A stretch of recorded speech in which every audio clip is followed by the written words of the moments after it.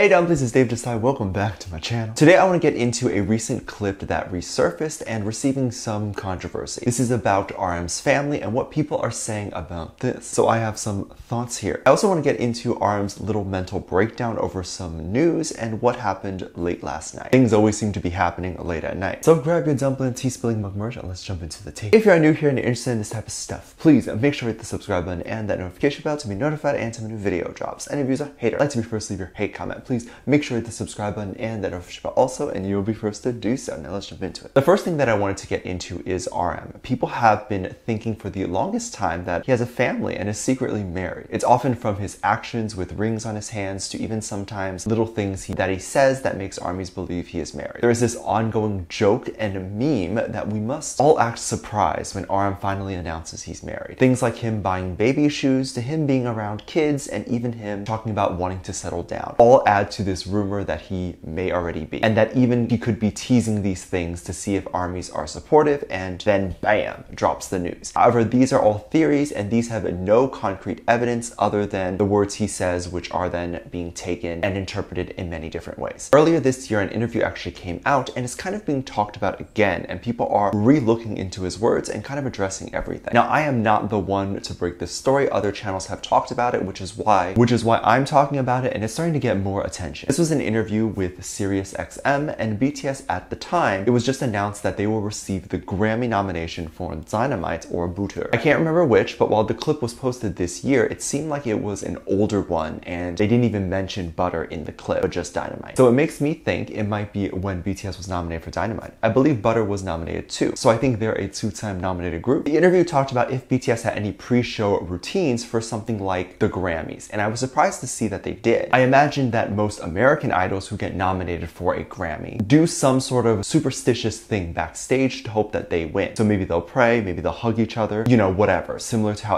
athletes will slap each other's butt or kiss something. Apparently what they'll do in Korean, BTS, is put their hands together and scream BTS. Given it was their Dynamite nomination, then they had never been nominated before, so they never had a specific Grammy ritual, which I don't think would be the same as winning an award at the Teen Choice Awards. Like maybe between Grammy and Teen Choice, you wouldn't care as much for the Teen Choice. Although any award is an honor to win, but I feel like BTS has outgrown those awards and it's about time for their Grammy. So aside from the rituals, the interview of SiriusXM also asked what BTS would do with the trophy. I don't know if a boy group gets one trophy or a trophy for each of the members, but all of the other boys answered the question by saying that they would love to take the award and put it in their house. RM gave a unique answer and talked about how he would like to copy it and put it everywhere. And he said he would put it in his family's home, parents' home, and label. This became a topic of conversation as people were very curious why he separated parents and family's home. Because the thought here is that if he was in a relationship or married, family would be referring to his wife and kids, and then parents' home would be referring to his parents. Why did he separate the two? He must be saying he has a wife and kids or whatever. I went ahead and watched the clip, and to be honest, the way I see the way he said this comment, it wasn't him separating the two. It was him clarifying. Like if I said I listened to Jungkook Euphoria. That's not saying I listened to Jungkook and then Euphoria. It's clarifying what I meant when I said I listened to Jungkook. I think RM wanted to clarify that when he said family, he meant parents, not that he had a separate family. At least that's how it appears to me. I think he thought if he had just said family, people would speculate about his family when he probably meant his parents. I can totally see him having a family soon and maybe even sharing his wins with the family. I imagine he would love to give a Grammy Award one day to his significant other, but not today. I think it's really really sweet to duplicate the award and put it everywhere and it shows how much it means to you. But I hope RM and BTS realizes that an award is an award and nothing more than a pretentious piece of plastic or whatever it's made out of. It's a title that is attached to their name, being able to say BTS is a Grammy winning group. But Grammy kind of lost their prestige when they started giving the awards to artists like Gucci Mane and it became clear that as long as you were not Asian and had mediocre success, you could even win the award. However, I just don't understand awards that are so biased and people want want them so badly. Getting a Grammy doesn't guarantee that your next album will sell out or that your label won't drop you in a few years or that even your next concert will sell out. It means you got the award. I studied film in college a little bit and one of my professors was Oscar nominated. She eventually changed careers from being a director to a film teacher because she said she didn't know how to sustain her career in film even with the nomination. There's nothing wrong with changing careers and I'm not saying she's not successful. But if the point of winning an award is to feel like you're winning in life, it shouldn't be because it it doesn't signify that you've won. Continuously doing what you love and being really good at it is success, not a piece of plastic or title. Being Asian, and RM has talked about this, means that we are going to want to achieve those titles, but I hope that perspective changes. I hope RM is okay and doing well. There's been a lot of stress, or at least it seems like he has been under a lot of stress. He was seen working really late at the studio and even posting around midnight Korean time. He was seen walking or biking home late at night, and so we know he has been up to something and has been doing a lot. So we know he is also very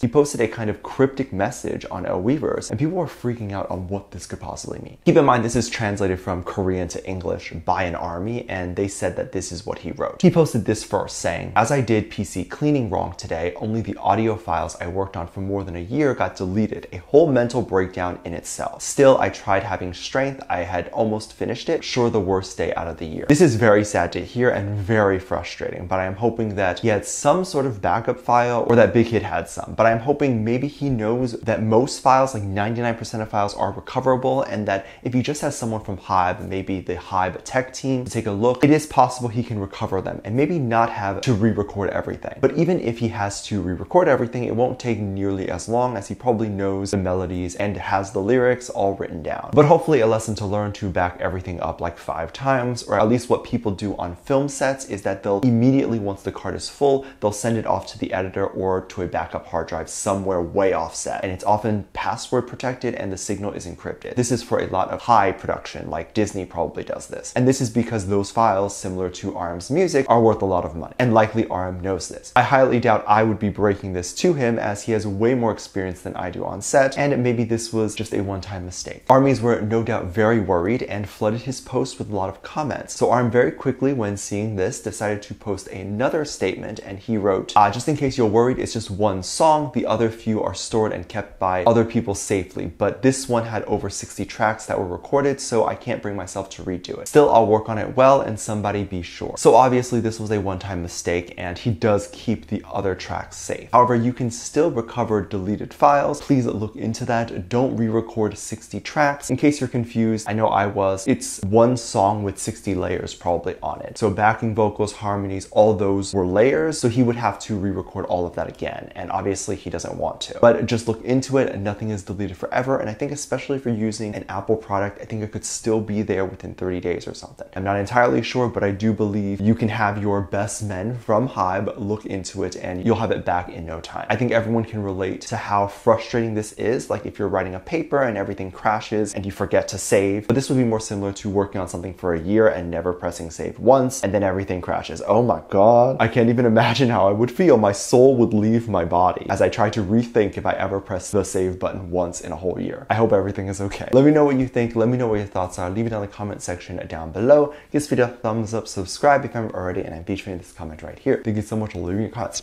And as always, I do have a Patreon if you want to go over there and check that out. I have a lot of videos over there that I can't really post on here. This is due to copyright or getting taken down, so I do keep it over there on my Patreon. You get videos over there like music video reactions, performance reactions, ship reactions. You can also recommend things you like to see over there. Currently, we do have over 400 videos that are already up on there that we do have a great time interacting and having fun with. So if you're interested in being a part of that, link is in the top description down below. There's also a video over there that kind of goes over how you can support this channel even more if you would like to do that. The video is on the front page and it's free to watch. With that said, there's two videos that will appear up on screen at the end of this video, so click on one of those. I'll see you over there. Bye.